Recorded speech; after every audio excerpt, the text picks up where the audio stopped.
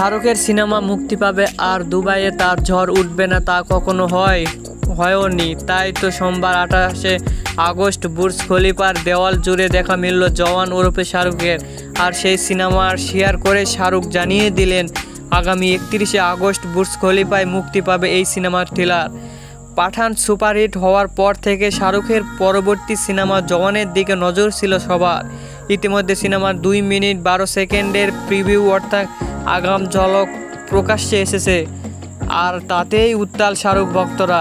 King খানের action দেখতে মুখে আসেন তারা। সাতে সেপ্টেম্বর মুক্তি পাবে অ্যাটলি পরিচালিত সিনেমা। জওয়ান সিনেমায় শাহরুখের বিপরীতে নায়িকা হিসাবে দেখা যাবে দক্ষিণী অভিনেত্রী নয়নতারাকে।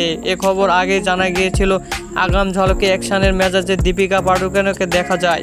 সূত্রের খবর, ক্যামিও চরিত্রে রয়েছেন দীপিকা। এছাড়াও সিনেমায় গুরুত্বপূর্ণ চরিত্রে অভিনয় করেছেন বিজয় সেতুপতি প্রিয়মণি স্থানীয় মালহোত্রা সহ এক ঝাঁক তারকা।